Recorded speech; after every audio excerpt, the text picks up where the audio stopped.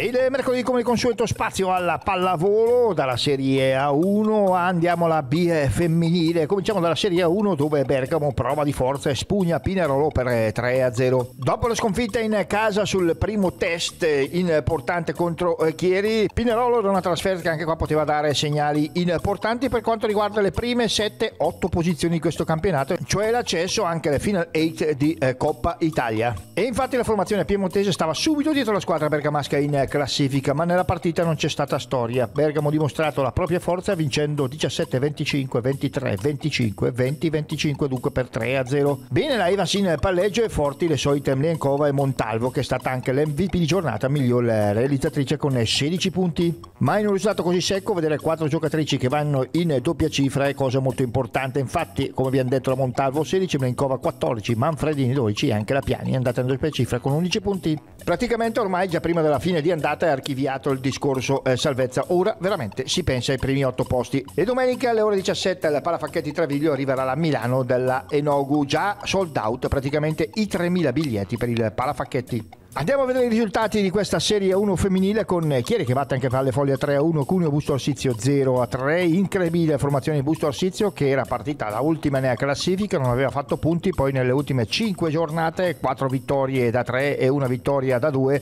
per il nuovo allenatore Barbolini che ha cambiato questa formazione. Firenze Perugia 1 a 3, Milano Conegliano 0 a 3, Novara Talmassonse 3 a 2, Pinerolo Volley Bergamo 0 a 3 e Roma Scandici 1 a 3.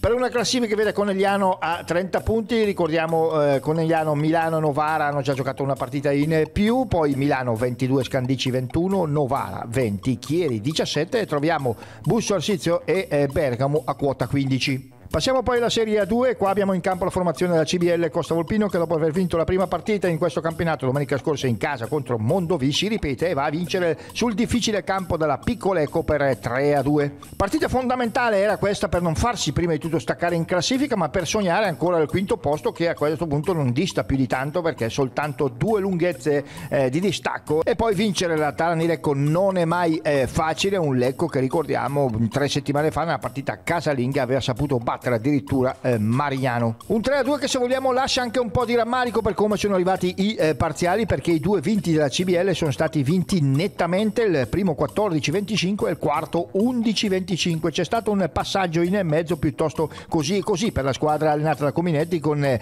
parziali persi per 25-22, 25-20. Sfatato così anche il tabù tie break che finora li aveva visti sempre perdere per la squadra di Costa Alpino che invece questa volta lo vince per 10 a 15. Questa volta la trascinatrice di Costa Volpino e eh, la Brandi con i suoi 23 punti si prende anche l'MVP di giornata. A 15 punti troviamo Ferrarini e Buffo, 14 punti per eh, Lazzago che è in eh, ripresa. Ora il prossimo turno per la CBL Costa Volpino sarà di nuovo la Pala CBL domenica prossima alle ore 17 quando arriverà una delle grandi di questo campionato che è Balducci Macerata. Ma a questo punto se Costa Volpino riesce a essere consapevole della propria forza, limare magari anche eh, certi eh, difetti potrebbe fare anche il colpo a sorpresa. I risultati del fine settimana sono Macerata Castelfranco 3-1, Mondovi Imola 3-2, Messina Casalmaggiore 3-0, Lecco Costa Volpino 2-3 e Valsabbia Brescia Marignano 1-3. Per una classifica che vede Messina a quota 23 line vetta in classifica, ricordiamo che il eh, punto perso praticamente da eh, Messina è stato contro la CBL e basta.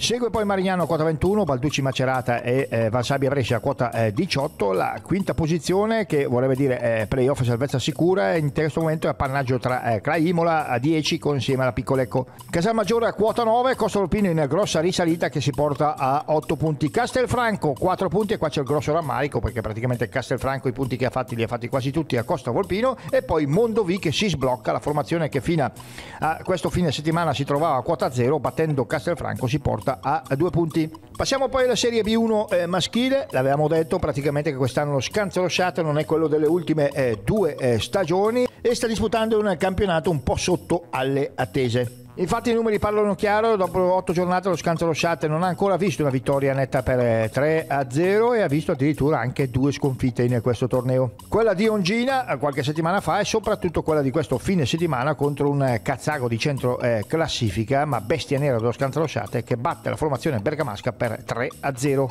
28-26, 27-25 i primi due parziali tirati persi comunque dallo scanso Rosciate e poi il terzo squadra scarica si perde per 25-19. Sabato prossimo tra le mura di Scanze Rosciate arriverà Carpi e qui obbligo la vittoria non solo per tornare al successo ma anche perché si affronta una delle squadre di bassa classifica. Perde anche l'altra formazione bergamasca, cioè eh, Grassobio che sicuramente sta avendo un inizio difficilissimo di campionato, anche qui non ci si aspettava una cosa del genere. La squadra dell'MGR perde in casa contro Bologna con i parziali 19-25, 21-25, 25-21 e 21 e 25.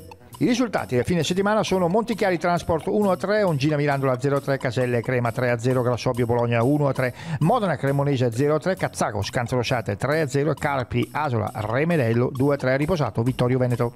E chiudiamo poi con la Serie B1 eh, femminile con la Don Coleoni Trescori che incassa praticamente il settimo campo consecutivo e resta dunque al penultimo posto in eh, classifica. Si perde per 3 a 1 perdendo 25 16 25 18 poi vincendo il terzo parziale 16 25 e perdendo il quarto 25 16 il sabato prossimo nella palestra di eh, Tre Score sarà importante trovare il primo successo di questo campionato visto che si affronta la formazione attualmente sul fondo della classifica ancora quota 0 Valtellina che finora nel corso del campionato delle sette giornate ha vinto soltanto due sette ma ha perso tutte le partite.